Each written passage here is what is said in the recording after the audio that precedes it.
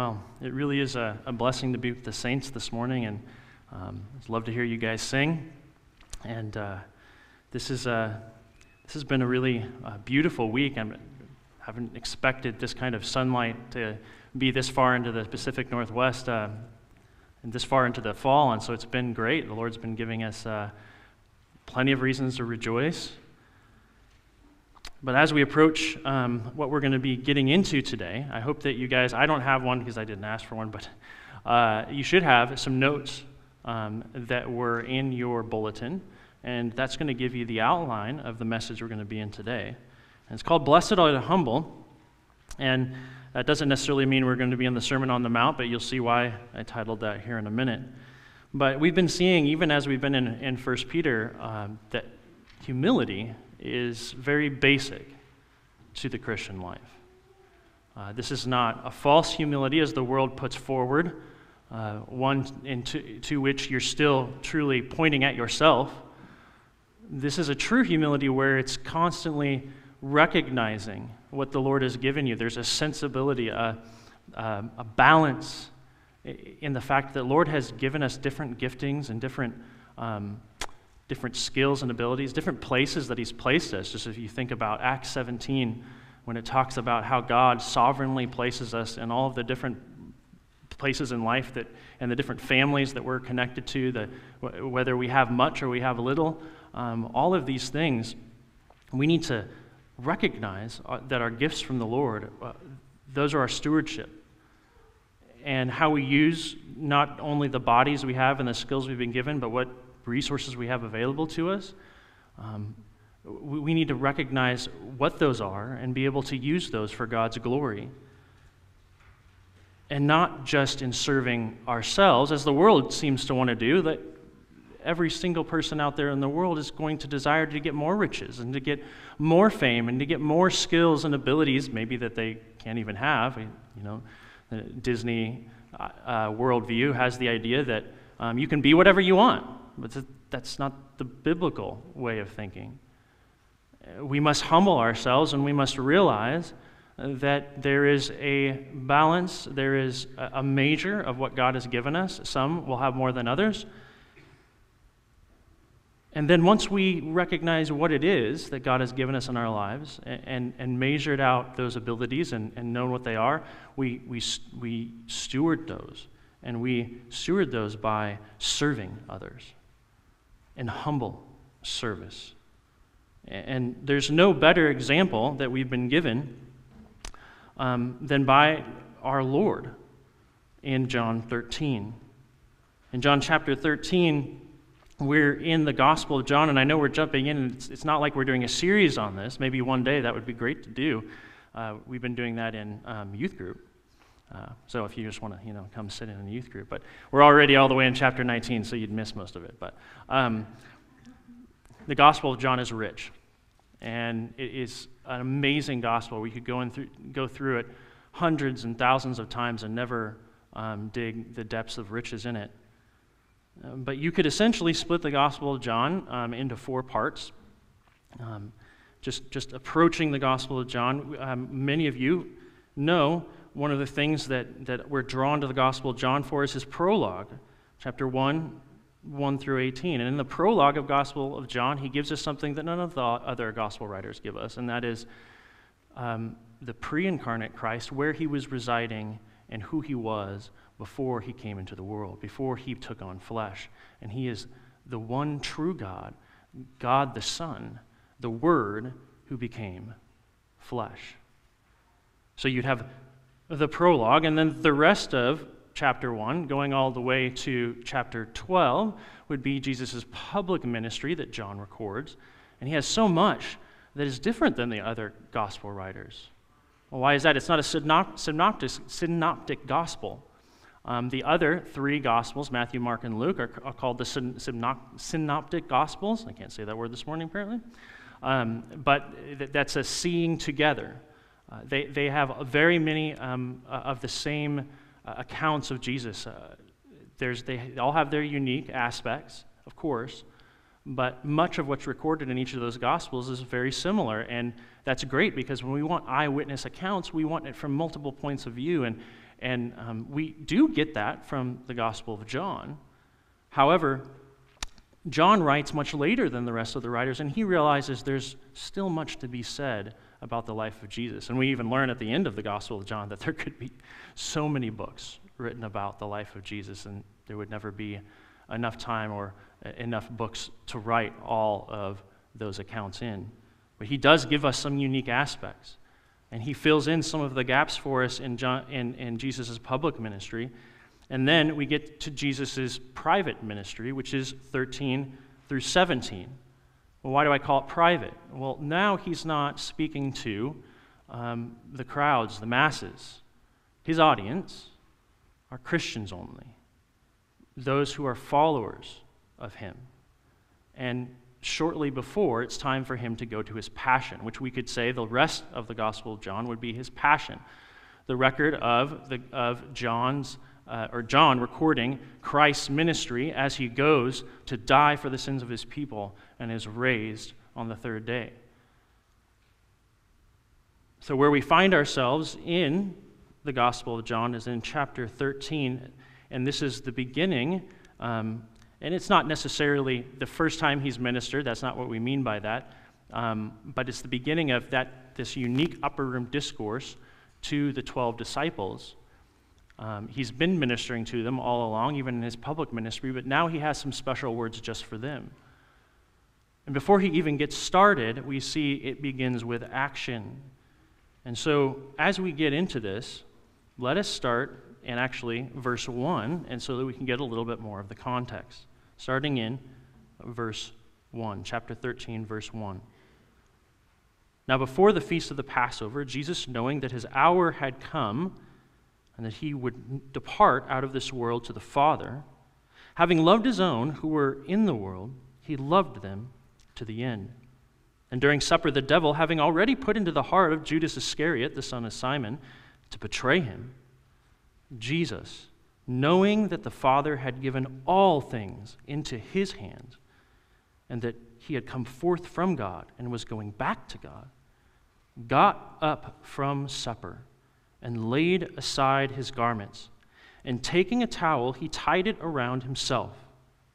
Then he poured water into the wash basin and began to wash the disciples' feet and to wipe them with the towel which he had tied around himself. So he came to Peter. He said to him, Lord, are you going to wash my feet? Jesus answered and said to him, What I am doing you do not realize now, but you will understand afterwards. And Peter said to him, You will never wash my feet, ever. And Jesus answered him, If I do not wash you, you have no part with me. And Simon Peter said to him, Lord, not only my feet, but also my hands and my head.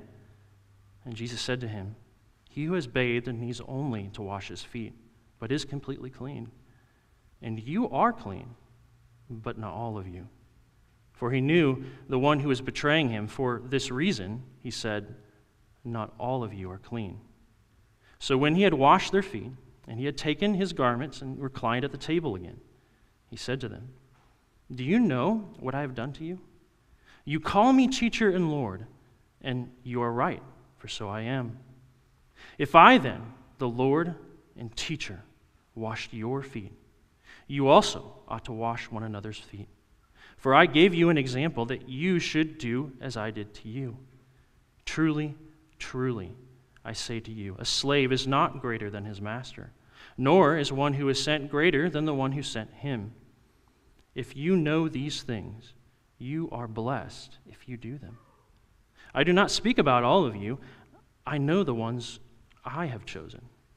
But that the scripture may be fulfilled He who eats my bread has lifted up his heel against me.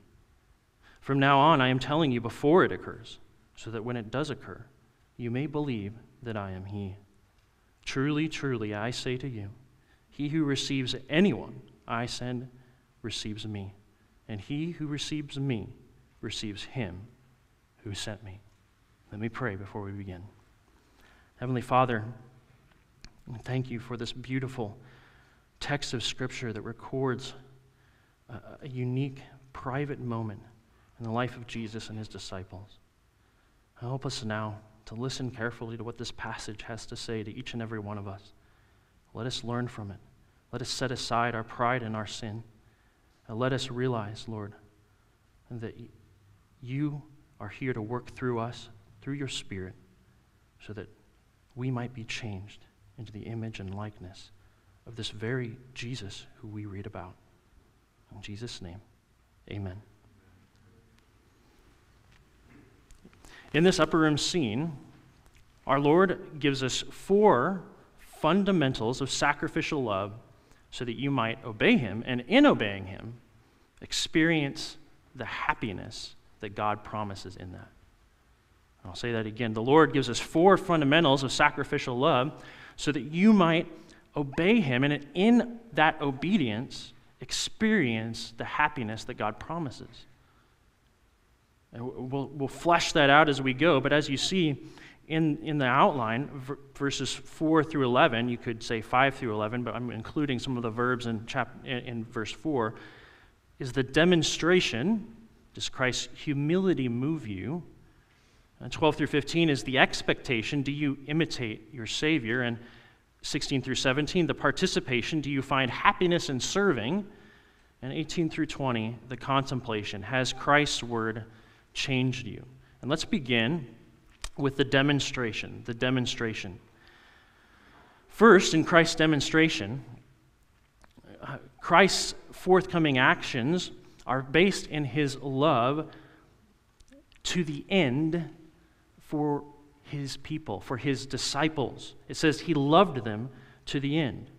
Those who were his own, who were in the world. There is a special love that Christ has for his people. And notice, he doesn't just say he has love for them, he demonstrates that love. Look what he does. Look at the verbs that are used here. He rose up, he laid aside his clothing, taking the towel, he tied it around, girded himself, he placed and cast the water into a washbin. He began to wash, to wipe the disciples' feet.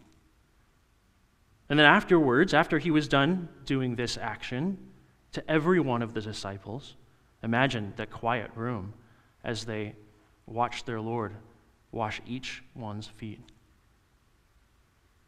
He placed back on his outer garment, he reclined again, and he spoke.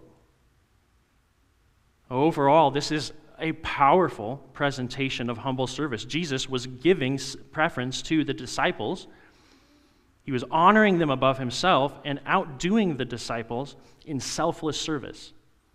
He was raising them up and lowering himself, truly in the form of a servant.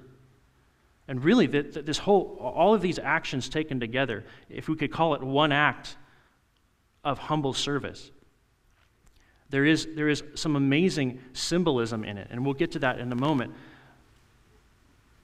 But before we get to that, we have to look at this and look at the inclination of sinners through the ages to then make perhaps a ritual out of this. You might ask the question, well, because Jesus did, did this, should I go and wash my brother's feet? Literally. Like, should I be, as an elder, going down and washing each one of your feet? It's a good question, right? Um, and when we actually look at this in a, in a historical perspective, in a, in a perspective of the culture, this was a very common practice in the first century. And you have to ask that question why? Well, because people traveled places not on cars. All right, they didn't have cars back then. They didn't have horses, but you had to be far wealthier to have one of those beasts of burden. And so the most common way to travel would be by foot on dirty roads. And you could, at, I mean, you're on your way to a banquet. You've just cleaned up. You're ready to go. You got your best, best stuff on. And now by the time you get there, your feet are all dirty because the road have, has gotten dirt all over them from the travel.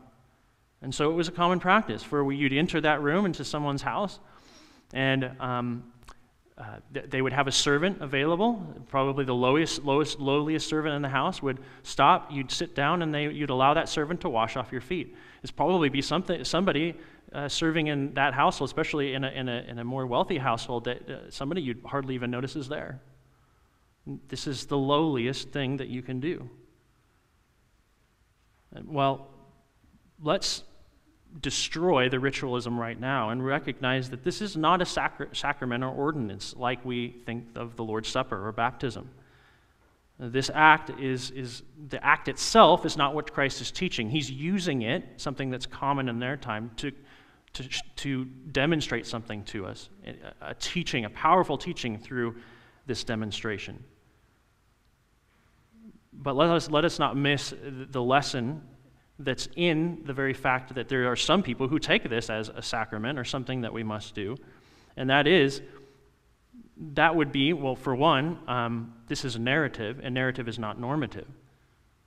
But if we start to take everything out of the text and make it something that we ought to do, that's, there's a legalism bound up in that. This, this ritualism that we see in, in errors like the, the Roman Church, for instance, or other cults who make it all about doing something outwardly. Uh, this, that's not what this is here for. Notice a good example of this is that in this account that, that John gives us, he doesn't, he, t- he calls it a supper that they're having, but he doesn't mention specifically the same title as many of the other gospel writers mention. He doesn't say the Lord's Supper. Does that mean that's not what they're practicing? Well, we get a description that this is what's going on. It is the Lord's Supper. It is that sacrament that he gave to um, the disciples that is recorded for that purpose in the other synoptic gospels. But it's, it's, awfully, um, it's, it's awfully humbling to think John didn't call attention to that sacrament. Well, why?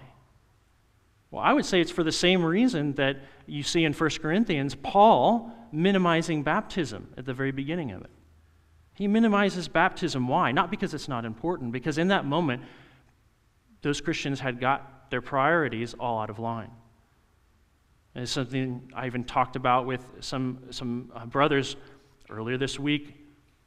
The issue of, we call it sometimes theological triage. The idea that you, some doctrines are more important than others. 1 Corinthians 15, the gospel is of first importance. And we, and in different moments and different times and different seasons, we must realize that we must put aside lesser doctrines and focus on what's important when someone has lost track of what's important. And here, as always, what's most important is Christ and what he's doing and he's expressing in this. You see, if, if we get into the danger of making it all about the externals, we'll be like the Pharisees. And Jesus said that they're whitewashed tombs with dead men's bones inside. Well, this describes some of you here today. It's what you've been doing. You've been hiding your sin, and whether it's porn on your device, whether it's the fact that you need to go to your spouse and ask for forgiveness, or whether you've been stealing time at work,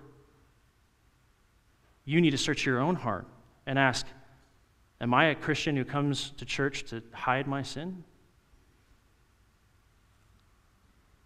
John likely leaves the Lord's Supper explicit, explicitly not mentioned out of this narrative to help us understand, kind of like Paul did in 1 Corinthians, that there's other things more important right now. And in fact, the very beginning of this upper room discourse, Christ has one, really the most powerful demonstration and teaching to start off this discourse with.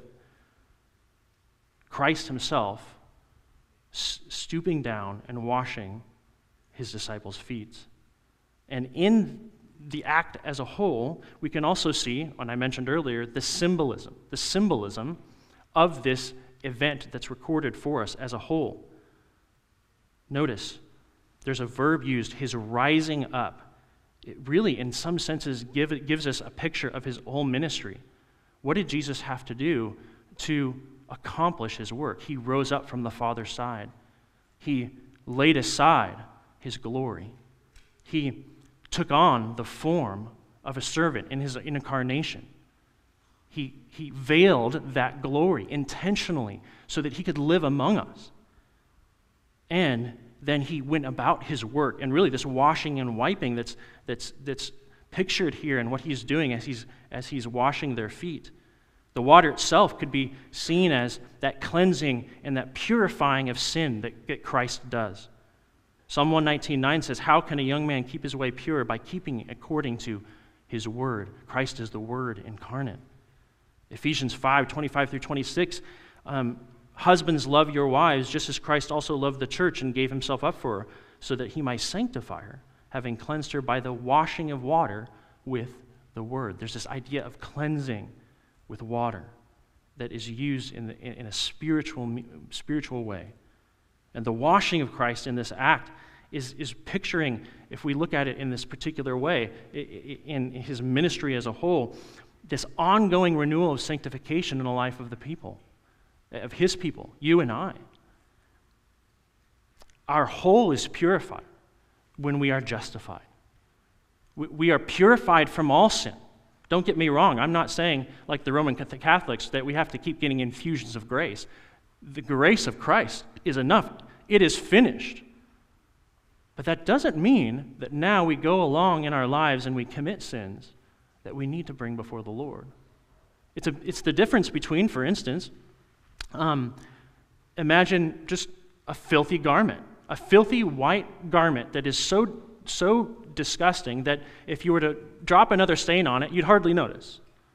Well, that's all of us before we get saved. But then just take that same white garment, right?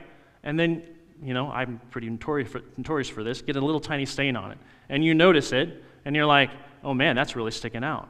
Well, that's the Christian life. We've been cleansed by Christ. We're completely white, but when we go and we sin, we get that little stain on us. Well, what do you do? In order to remove that stain, in order to, to, get that removed, you've got to go before Christ and get, go back to that same fountain that cleansed you in the first place in order to be clean. Again, 1 John 1 9, if we confess our sins, he is faithful and righteous to forgive us our sins and to cleanse us from all unrighteousness. And then finally, that putting on and reclining, those verbs at the end of this demonstration, could symbolize really his ascension back to the Father. Because really, look, we got a little, a little bit of an outline in, in verse 3.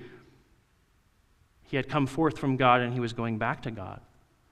That getting up and sitting back down after putting on his garments is him taking back on that glory after accomplishing his work going back to the Father's right hand and sitting down, showing that his work is complete. something beautiful in this demonstration that Christ give a, gives us. But ultimately, all these actions as a whole, as they symbolize the work of Christ, um, and, and, and, as we look at what he's done, we, we should not miss what John intentionally records for us in the midst of what he's doing here. And that, that's second, the Lord and Peter's exchange. It's very important to not bypass what happens between the Lord and Peter during this time. So, in verse 6, he came to Simon Peter and he said to him, that is Peter, Lord, are you going to wash my feet? And Jesus answered and said to him, What I am going to do you do not now realize, but you will understand afterwards. And Peter said to him, You will never wash my feet, ever. Jesus answered him, If I do not wash you, you have no part with me. Simon Peter then responded to that, saying, Lord, not only my feet, but also my hands and my head. You see this, the, the disciple who liked to put his foot in his mouth. All right? This is another great demonstration of that. We see Peter's personality come right out. And we can learn a lot from Peter. I love how Peter is the first one to pipe up because his actions here are recorded for us for a reason. We are called to obey Christ without delay. Peter should have been willing and ready to allow his master and Lord to wash his feet. There are many things that we do in this life without delay. For instance, if I go to your house and we're talking and this oven's on and I set my hand down on the oven, as soon as I feel that, I'm pulling my hand away right? Same thing with a, with a really hot piece of metal on a sunny day. You accidentally lean on it, what quickly you're going to take your hand away. It's Christ, our Lord. When He commands something to delay, is sin. Refusal to do what is commanded is pride, and deeper, it's, it's distrust in God's secret deal, His sovereign hand because we may not completely understand what he intends right away, right? Because this is what, this is what Jesus says. He says, he, he lets them know, I'm not going to tell you right now what I'm doing. You just need to accept it, and later I'll explain it to you. We must have childlike faith. It's kind of a, a learned contentment in remaining uninformed. He doesn't always, he doesn't have the obligation to always inform us why he does these things. That's the way it is with a, a lot of authority that God has ordained in our life. There's, you're not always obligated to get to know why something is done. We should not be worried that we are in the dark concerning some of the things that God wishes to be hidden from us for a time. And this kind of content in this uninformed state is more learned than any other kind of uh, state. And when we, especially a sort of state where we're, we're lacking information, and when we let God be wiser than we are, we're expressing true faith and trust in His care for us. When we're obstinate in it, that's error, that's sin, something we need to repent of. When we're obedient, that is only done by faith, by the power of God working in us. True wisdom and faith approves and embraces by faith whatever comes from God. If we cannot decide what whatever God does, He does for our good, for the best reason, our flesh will stubbornly refuse to obey in those moments. We need to trust. Trust that God has our best in mind. And until you renounce the sin of judging the works of God, you will not be living in obedience to Him. God has created you, He's given you everything, and He promises to take care of you, even when sometimes that's hard to see. Uh, notice, let's just take the average Christian for a moment. Jack has something against his Christian brother, and God's word says Jack must drop everything and go and be reconciled to his brother.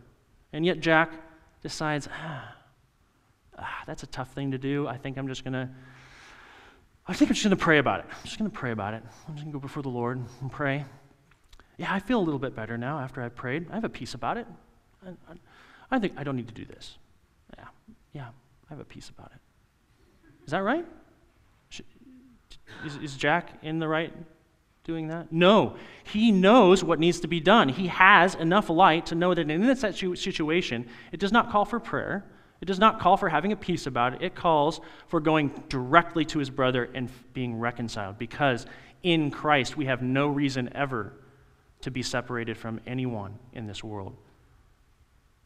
God has reconciled us to himself. That is the, that, that is the most important relationship that has been mended, and now we seek reconciliation with our brothers. If you live this way, you're, you're never going to um, really truly experience the blessings of God and, in, in the obedience that he's explaining here. And really, if you continue to be disobedient, you're going to create a, a, sort of tension in your own heart. You're going to be, become calloused to the continued light and truth God, God gives you until you actually do what you're called to do in some senses, it can be too late to do the right thing, but you can still go and you can still repent and you can still seek out reconciliation. And that's just one example. There's so many others. Peter's immediate response, once again, looking back at the text for Peter, we, can, we, might, we might label that pietistic legalism, a, a holy rebellion. Um, I can do it myself. I, I, I'm being very righteous in this moment, Lord. I want to exalt you. No, that's not what the Lord wants in this moment. Your thoughts are never as God's. Even a Christian's thoughts slip into man's thoughts, into fleshing, fleshly thinking.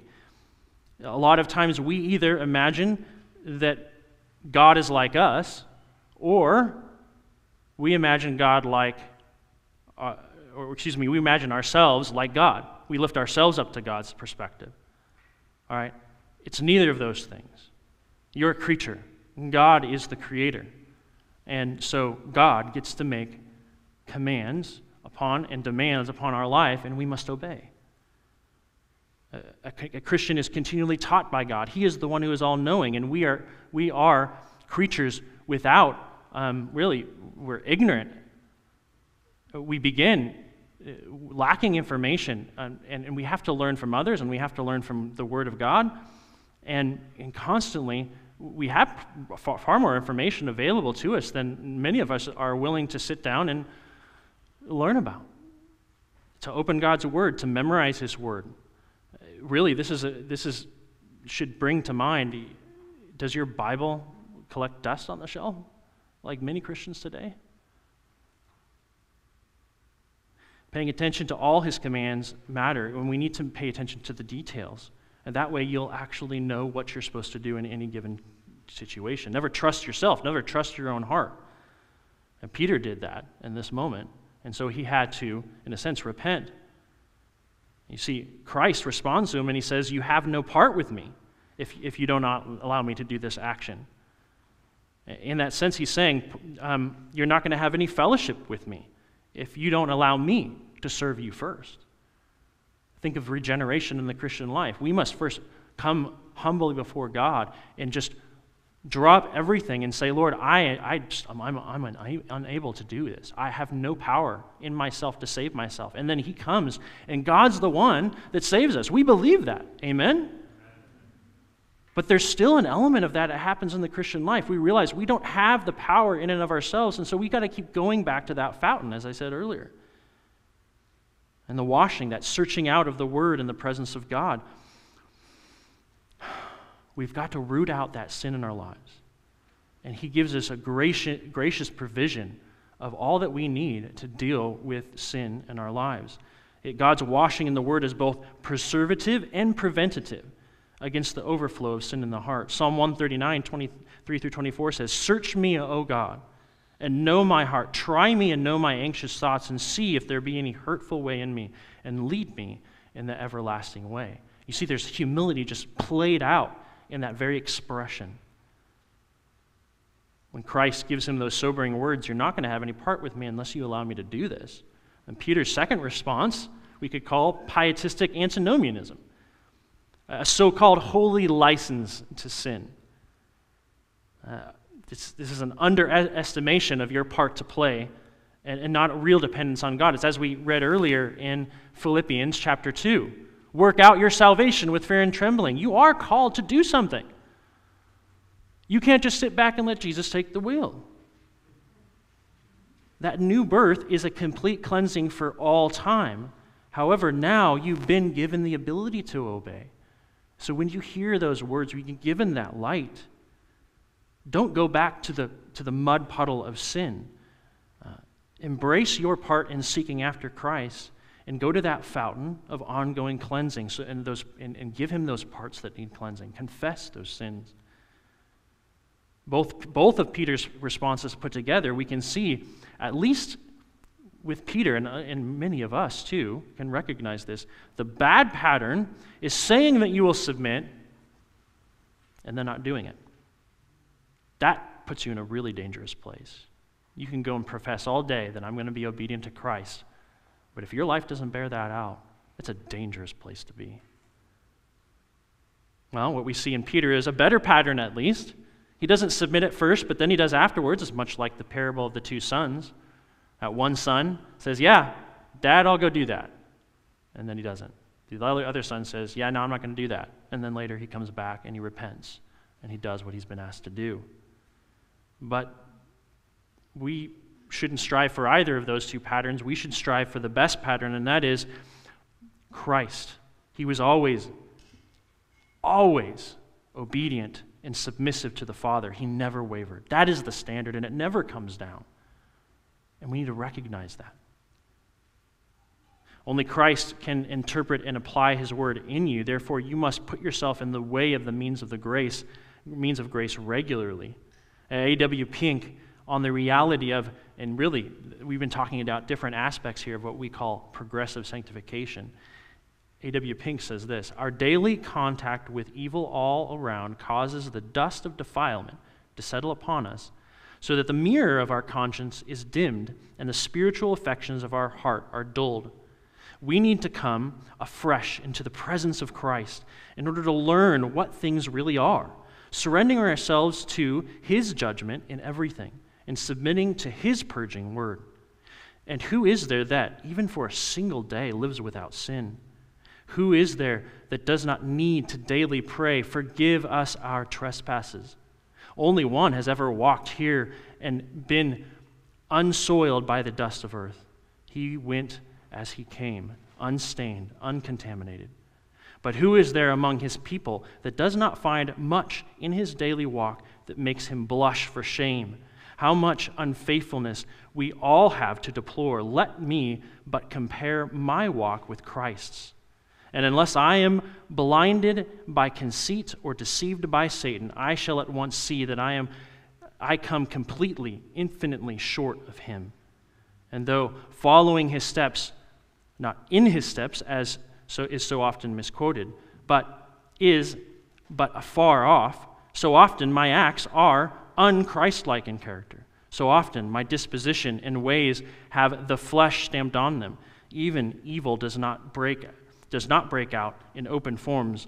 Even when evil does not break out in over, open forms, we are conscious of much of the hidden wrong, of sins of thought, of vile desires. How real, then, how deep is our daily need of putting our feet in the hands of Christ for cleansing, that everything which hinders communion with Him may be removed, and that He can say of us, You are clean. Well, now we turn from Christ's demonstration to the expectation. This is verses 12 through 15, the ex- expectation. And in John, starting in verse 12, it says So when he had washed their feet and had taken his garments and reclined at the table again, he said to them, Do you know what I have done to you? You call me teacher and Lord, and you are right, for so I am. If I then, the Lord and teacher, wash your feet, you also ought to watch, wash one another's feet. For I gave you an example that you also should do as I did to you. Our, our Lord now makes explicit what he hid first from his disciples, and especially Peter, because he really wanted to know. Christ is first presented to Christians here as a teacher who teaches them in truth. And not just here, but when we are first come before Christ, he's a teacher. He's someone we see that is teaching truth. But once that teaching takes root by the work of God, Christ becomes Lord over us by faith and repentance. Verse 14, verse 14, Christ says to his own that he is the Lord and teacher. He is Lord first to his people and continues to teach them. In unbelief, you refuse to submit to Christ, but in faith, you willingly, joyfully submit to him. Our Lord gives the expectation of his servants and slaves.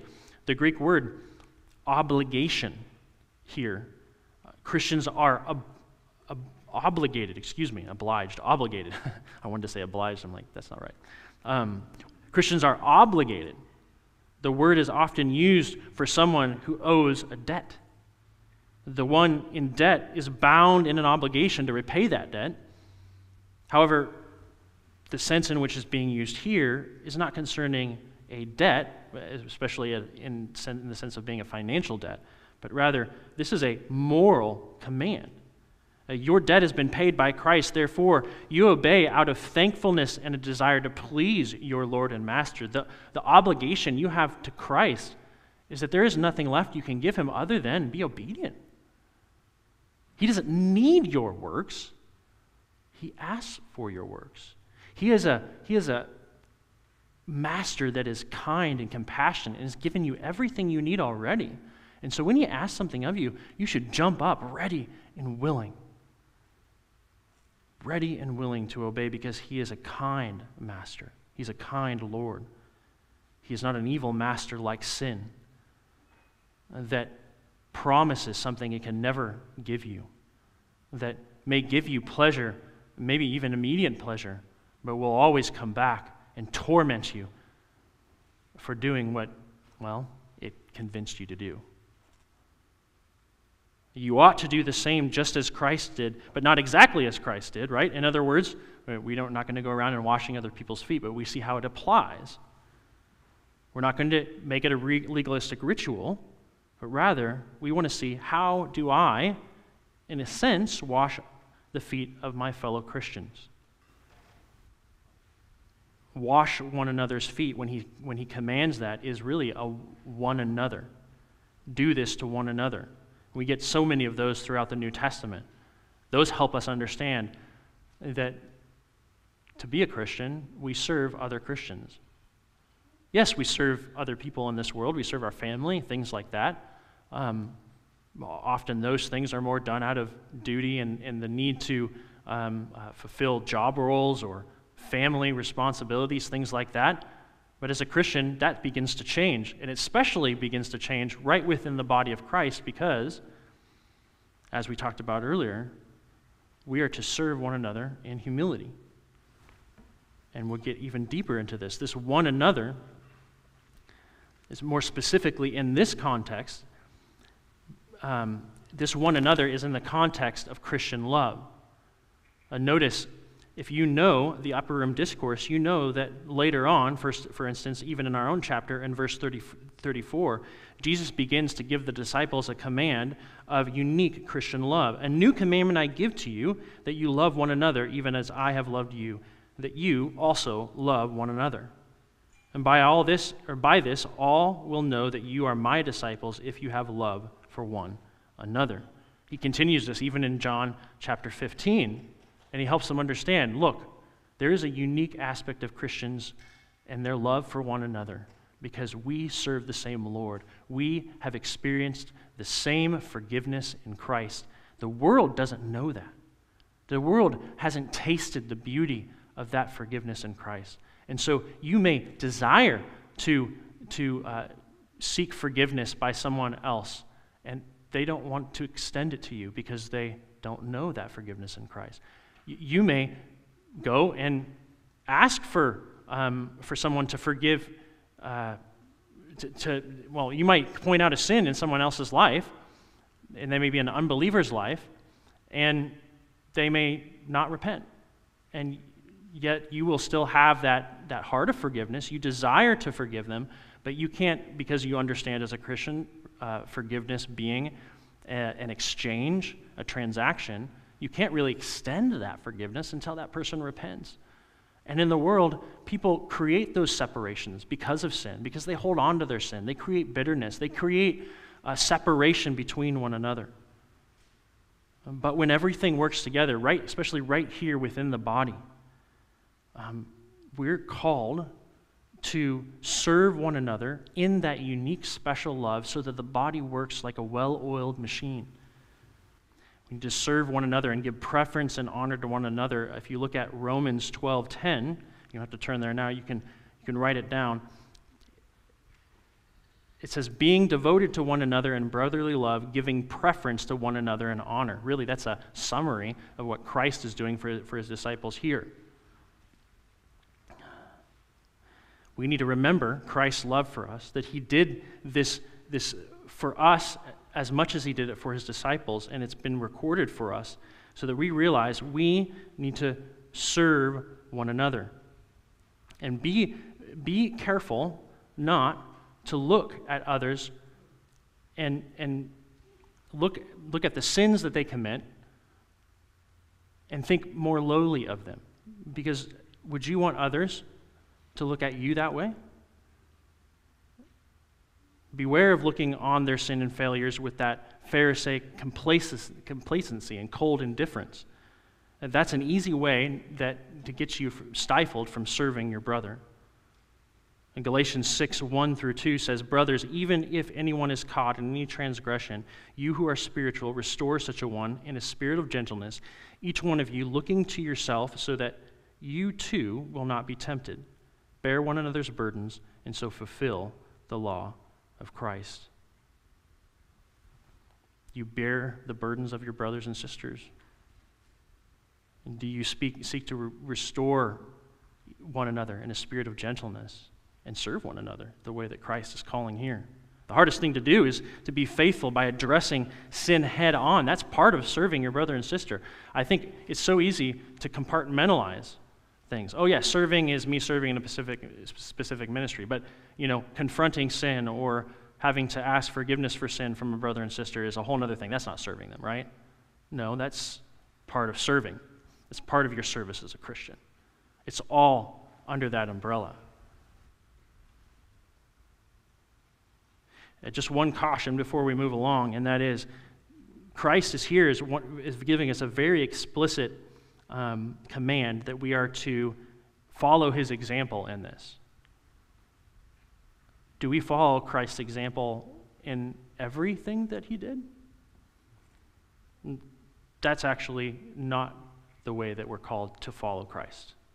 We follow him in his character, but we do not act out his life as if we have the same mission to accomplish because we're not God in the flesh. What we want to do is look at what has Christ commanded? What have the apostles commanded? What did he say or the, what they said as an example? And that's what we're seeking to imitate Christ in.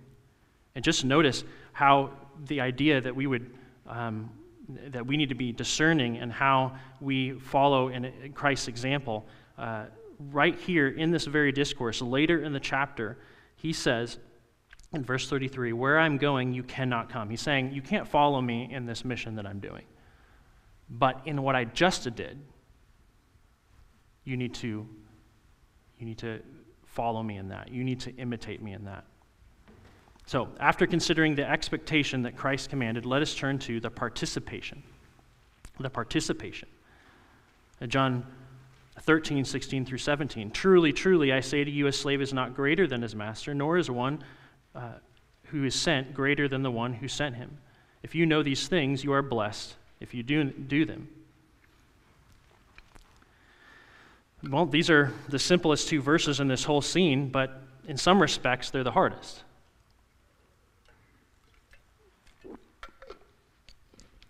Verse 16 describes believers as slaves. Christ is our master, our Lord. Yet he humbled himself, and we're called to do the same. But verse 17 it is a conditional clause. If you know these things, this is the first part of the condition, you must first have knowledge before a blessing can come. Christians today downplay the importance of biblical knowledge. They'll say something like, live the gospel. Uh, love trumps doctrine. Uh, I don't need theology, I need Jesus. Is there a way, in a sense, in which you live out the gospel? Yeah, if you were to follow Christ's example in this, and that's in some sense. But if we're talking about the specific message of the gospel, charades isn't going to help anybody. All right, there's no way you're going to live that one out. All right, I don't care how good you are at charades. There's somebody I'm looking at right now. All right? So, I don't care how good you are at charades, you've got to speak the gospel. And that helps us understand that, that there's specific knowledge that we need to learn. And when we come, especially when you see certain uh, objections like this, it usually stems from um, the danger that, that people are afraid of, which is the idea of cold, lifeless religion, really the result of that ritualistic religion we were talking about earlier. Now, this is always a danger, regardless of whether or not um, it's ritualism or legalism, because that always flows out of the heart of man. But keep in mind, just like with any error, you cannot fix error with error. Anti intellectualism is anti Christ. Christ himself is a teacher, meaning you must learn and know that he, excuse me, what he teaches. Theology isn't optional, theology is required. Without it, you're disqualified and susceptible to Satan's ploy and even apostasy. Why do you think so many Christians, or at least professing Christians today, end up deconstructing, quote unquote? Knowledge must never stand alone, though, as we see right here. You must never have file cabinet theology. And really, we hear the echoes of James here but become doers of the word and not merely hearers only who delude themselves. That's James 1:22. God, God won't give you more light if you don't use the light you've been given. Are you being obedient to the very light that you've been given already? Jesus continues in this conditional clause. If then, if if you know these things, then then you are blessed or happy if you do them. The condition met without knowledge, but completed with action, excuse me, with knowledge, but completed with the action. So you start with the knowledge, and it must be completed by obe- obedience. And really, application, that takes effort, and it takes effort in the Christian life. You must put to practice that which you learn. And if you do, by the power supplied in the Christian life, then you will experience that happiness of Christian obedience. God is the God who extends happiness and pleasure to his creation because he is a God who is happy in himself. Isaiah 46, 8 through 10 says, I will accomplish all my good pleasure. Psalm 135, 6, whatever Yahweh pleases, he does. He does whatever he pleases. Ephesians 1 5 through 6, and, and, even 12 and 14 says, according to the good pleasure of his will, to the praise of the glory of his grace. And continues, to the praise of his glory, to the praise of his glory. God is delighted in being glorified, and he wants us to share in that delight. You can even go to places like Psalm 16 or Romans 7 to see how this is all played out, how it's played out even in the Christian life. But why? Evil sin. What is the worst evil? What if someone is, is innocently and brutally murdered? It happened once, but only once, and that was in Christ. Christ was the only one who was truly innocent. And guess what? God was pleased to crush him because there was a purpose in that. It was so that his grace would be shown to guilty sinners, and there was a way that was made for them to be right with God. Why do I bring that up in the midst of talking about happiness and delight? Because it's only through that means, it's only through the death of his son that guilty sinners can come to know a holy and righteous God. And then, ultimately, to bring these image bearers who repent in faith to experience that happiness. Psalm 16, 11 says, You will make known to me the path of life. In your presence is fullness of joy. In your right hand are pleasures forever. And Psalm 36, 7 through 8 says, How precious is your loving kindness, O God. And the sons of men take refuge in the shadows of your wings. They are satisfied from the richness of your house, and you give them to drink of the river of your delights. God has holy delights that we can delight in with Him, and we should seek after that. Thomas Boston summarizes it this way God's commands are not burdensome. They are beams of light guiding us along the path of righteousness. Joyful obedience is the soul's response to the light of God's word, leading us to walk in his ways. And Thomas Watson says it like this When we delight in God's commands, obedience becomes a privilege, not a burden. A privilege. Are you privileged to serve Christ in his church? Are you privileged to serve one another? Is that how you think about it? Because of sin, holy happiness becomes, um, comes primarily through this difficult struggle with sin. But that's not to say that you must first do it all through duty and then you get to the end and there's the delight. You can even find delight in going through that struggle with sin. Just like Paul said, suffering but always rejoicing. If you, if you lean upon Christ as you're living this Christian life, even as you're fighting sin, you can find joy and happiness and delight even in that. Now, we've looked at the Lord's demonstration and now the, even the expectation but let's look at the participation of his saints in joy. Ah, I get that mixed up. Oh, excuse me. We've looked at his demonstration, his expectation, and the participation. Excuse me. And now we're going to look at the contemplation. The contemplation. And that's starting in verse 18. Verse 18. I do not speak about all of you. I know the ones that I have chosen but that the scriptures may be fulfilled. He who eats my bread has lifted up his heel against me. From now on, I am telling you before it occurs, so that when it does occur, you may believe that I am he. Truly, truly, I say to you, he who receives anyone I send receives me, and he who receives me receives him who sent me. After Christ teaches us the happiness of this blessed obedience, if we're obedient in him, that we can truly experience that blessed, that blessed delight. Now, he says, I do not speak about all of you. So he's saying, actually, there's someone that's even in the room with him in that moment who can't experience that holy delight. Who, he's, who is he referring to? We know from reading the context, especially in uh, the beginning of chapter 13, that it says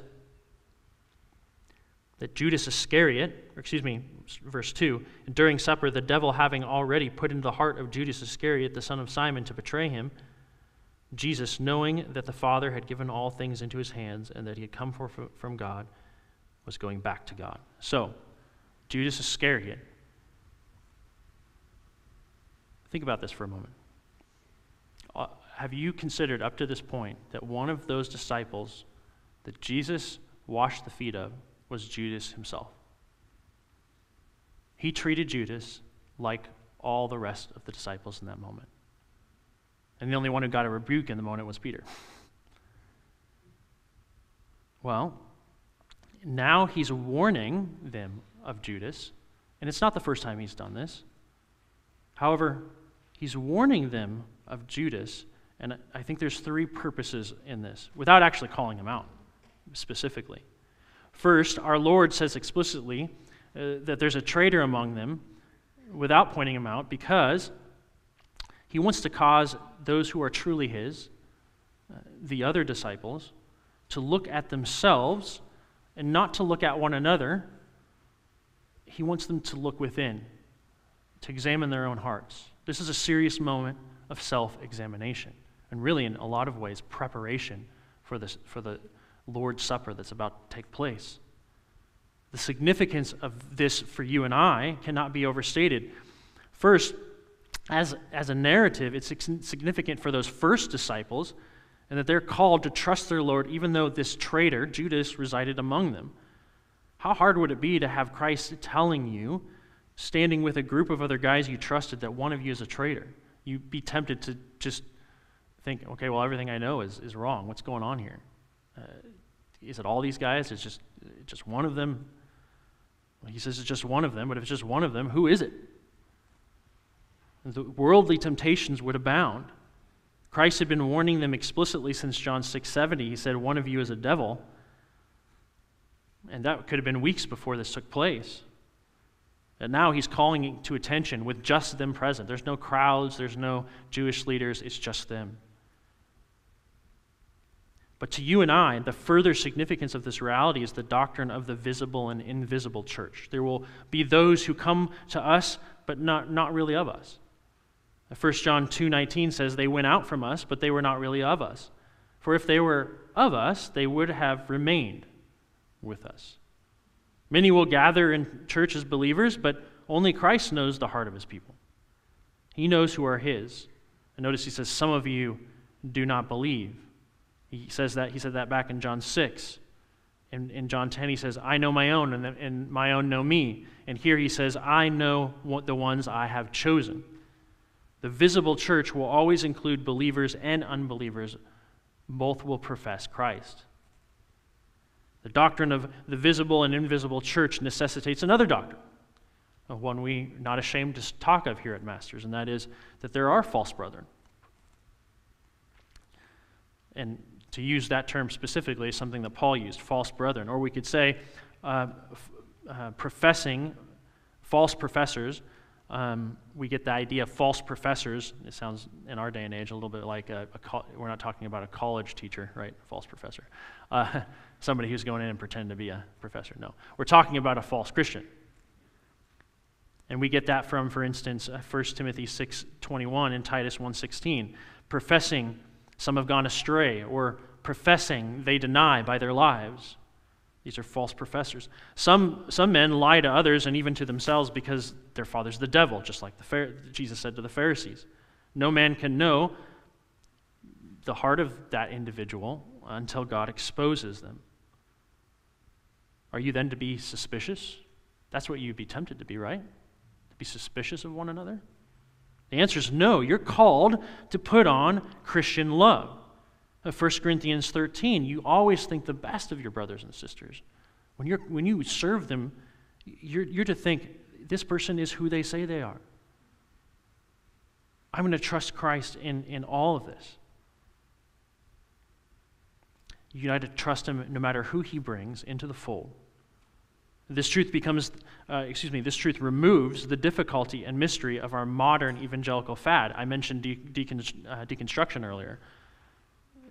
Deconstruction just simply means someone who apostatizes. Right? That's we put it in biblical language. People may may say, "Hey, I'm deconstructing my faith. I'm taking it apart, and I'm going to put it back together, and it's going to be better afterwards." Yeah, usually, it doesn't look anything like Christianity. All right, it's just apostasy. That's all it is. Let's just call it what it is. And based on this verse, we shouldn't be surprised. God's going to send Judases into our midst. That's part of his plan. It shouldn't discourage anyone that there will be those false uh, brothers among us. Do you trust the almighty hand of God in this? Ultimately, you must treat all professing Christians indiscriminately so long as there's no unrepentant visible sin. Talked about this so much here that unrepentant visible sin would then, that would then obligate you to say something, to go to them. And really, this happens in the life of believers. Unrepentant visible sin may start out that way because there's something going on in their heart, and they need to deal with that. And that's why that Matthew 18 process is there. So once two brothers go, finally, maybe that person wakes up. Usually, really, 90% of the time, we would expect that when you go through the process of um, church discipline, people repent. And praise the Lord that that's the, that's the case. We, we go about not being discriminate in the sense that we never suspect other people, we take them at their word. However, there is some ways that we do discriminate between brothers and sisters, not in a bad way, right? Because our culture has made the word discriminate bad in every sense, right? Um, but what I mean by that is, we, God has sovereignly placed all of you here in this body.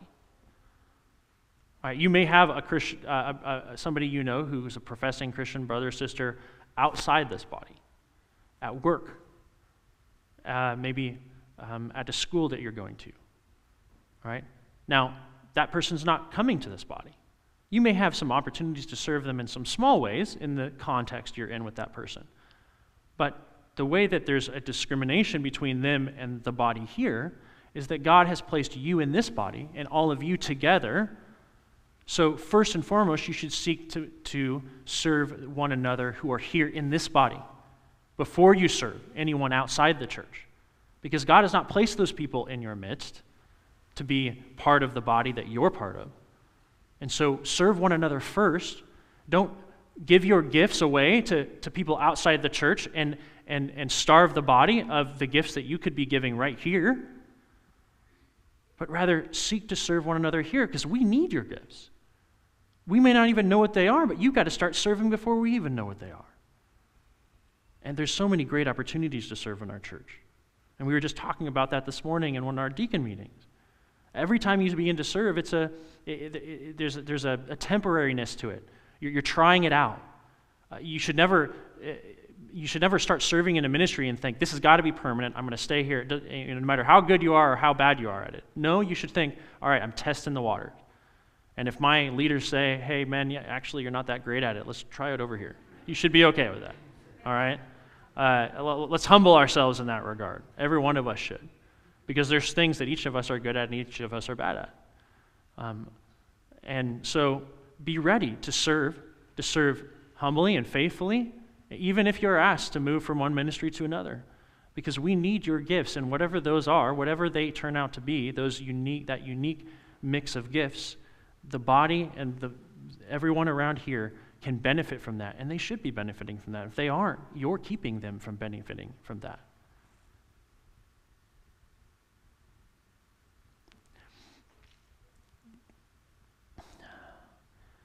Well, coming back to the idea of a Judas in our midst, and it's not a pleasant thing to think about, Um, second, I believe that Christ warns of Judas in their midst without pointing out him specifically. Two, for Judas, to give him yet another chance to repent. And notice, notice the love that Christ shows to Judas in this. Every man is responsible for his own sin, regardless of his moral inability. This is how you can love those unbelievers around you, those who, who reveal their sin to you and refuse to repent. Continue calling to repentance in grace and love and kindness. Show them the gentleness of Christ. Because here, Christ showed so much patience with Judas, so much patience.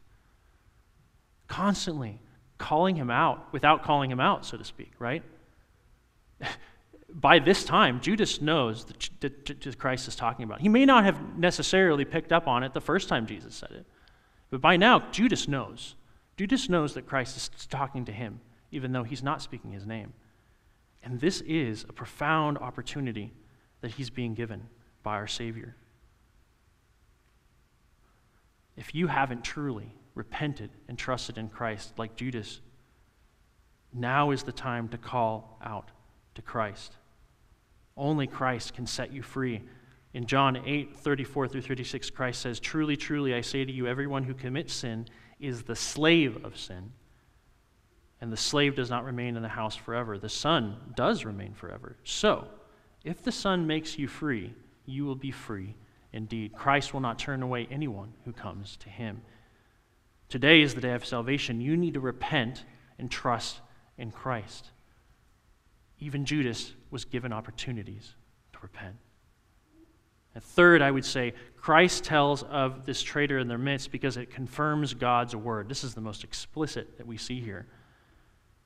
He says, But that the scripture may be fulfilled, he who eats my bread has lifted up his heel against me. From now on, I am telling you before it occurs, so that when it does occur, you may believe that I am he.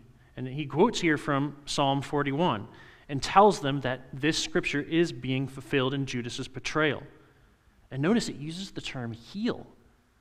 In Genesis chapter 3, it talks about the heel crushing the head of the serpent. Christ is identifying himself as the seed that will be victorious over the serpent. And connecting it with Psalm 41, he's fulfilling him, uh, he's fulfilling the Davidic covenant as that seed of David that, we look, that they were looking forward to, to sit on the throne of David and to rule the nations.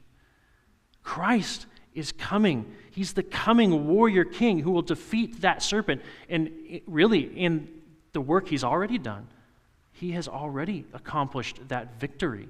It has yet to be bore out practically in some ways, but that victory has been accomplished. Judas taking his life, just as, for instance, when David was betrayed by Ahithophel.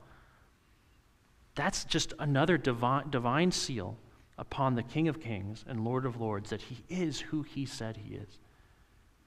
A theme by the Apostle John in writing his gospel is that Jesus is the Son of God. He is God the Son, God incarnate. John 1 1 says, In the beginning was the Word, and the Word was with God, and the Word was God. Jesus says to his disciples in the upper room, um, He says, From now on, I am telling you before it occurs, so that when it does occur, you may believe that I am He. And here, he's, he's, we include the word, the, the word He as just a helper, because really this is an I am statement. And there's many of these throughout the Gospel of John, and one of the most notable being in John 8, 56 through 59 he's speaking to the Pharisees and he says, Your father Abraham rejoiced to see my day, and he saw it and was glad. So the Jews said to him, You are not yet 50 years old, and have you seen Abraham? And Jesus said to them, Truly, truly, I say to you, before Abraham was, I am.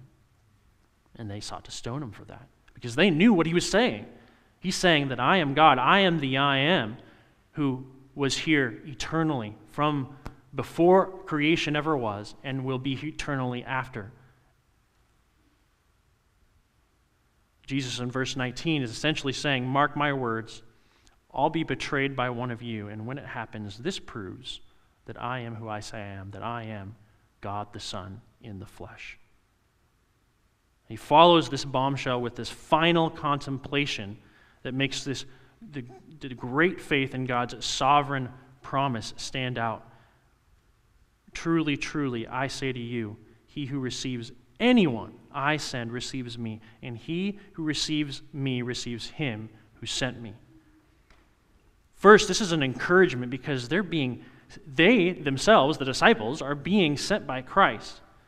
And that connects them to the Father. Anyone that they come to in the mission that they're called to, that connects them with the Father because they're doing what they're called to do.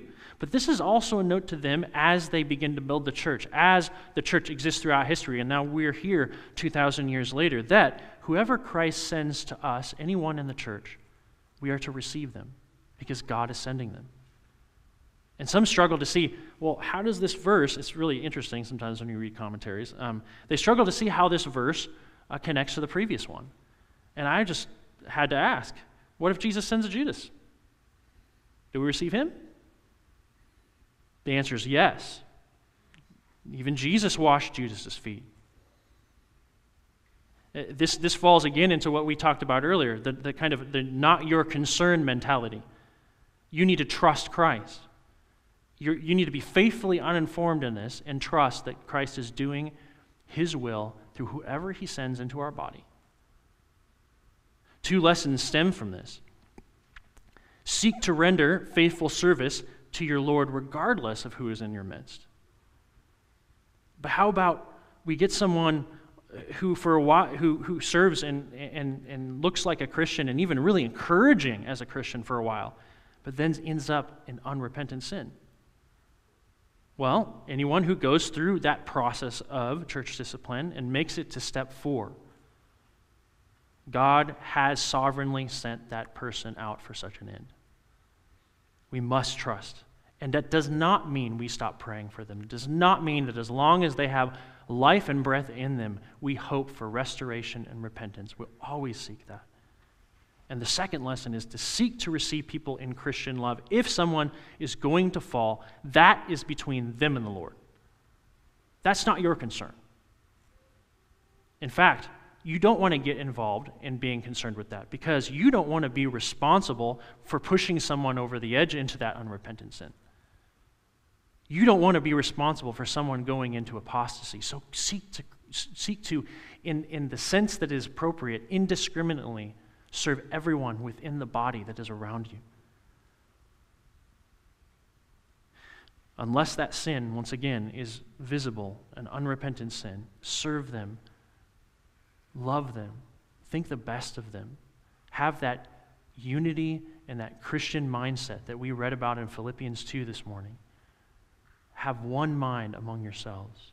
Consider others better than yourself. And perhaps this is the appropriate time to remind you in Romans 8:28. And we know that for those who love God, all things work together for good for those who are called according to his purpose all whom God sends among us. It doesn't, doesn't mean that we approve or affirm or ignore their sin. That's the, the culture does. That's what unbelievers do.